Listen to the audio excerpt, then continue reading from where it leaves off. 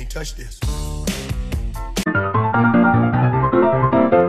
Attention. The store will be closing in five minutes. Please finish shopping and proceed to the checkout.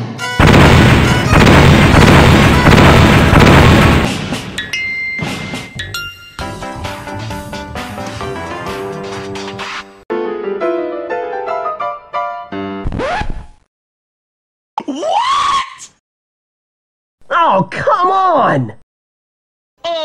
Alrighty then.